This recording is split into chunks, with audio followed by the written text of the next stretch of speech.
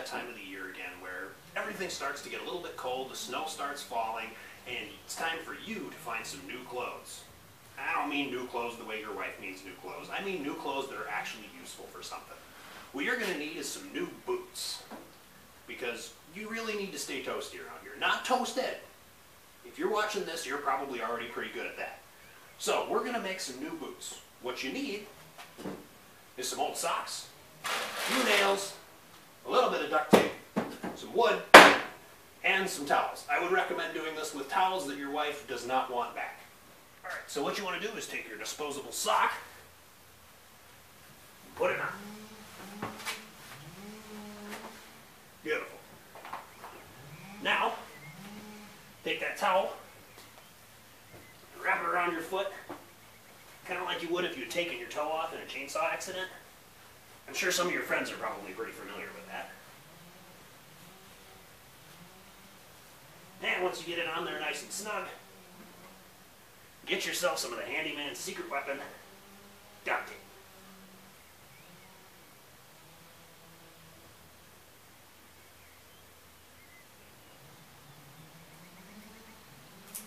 Sometimes it's a little hard.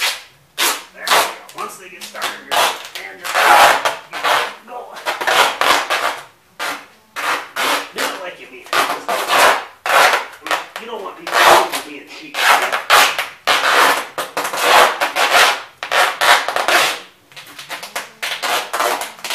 Now, if you wanted to go really fancy, you could do steel toes. And you could add some I diamond plate or titanium or uranium or whatever you want.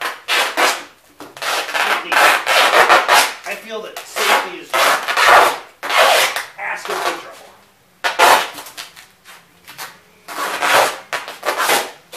Now you want to get a lot of tape on there. Because you want that to be good and waterproof. The drier you are, the warmer you're going to get, which is probably about the opposite of your friends.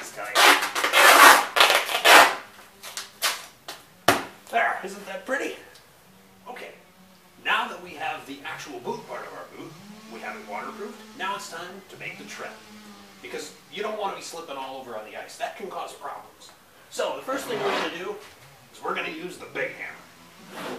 We're going to take some board, put it there, and just a couple of nails.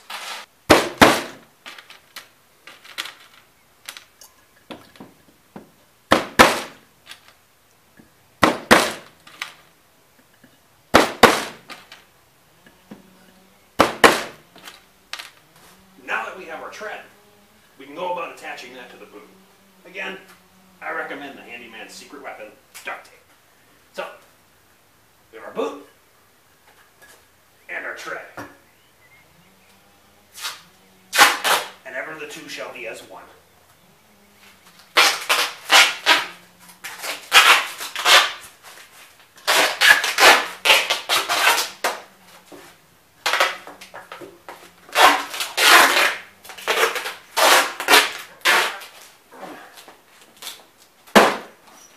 Okay, I would recommend that you take the boot off first before you try to attach attach the bottom. O- Otherwise, you're gonna hurt yourself. And it makes the duct taping go on easier.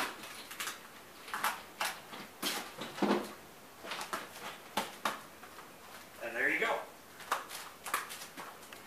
We have our very own stylish work boot and snow boot, moon boot, or really any other kind of boot. And we didn't even have to pay those high dollar store prices. So remember, if the women can't find you handsome, they should at least find you handy. Let's try our boot on here for a second.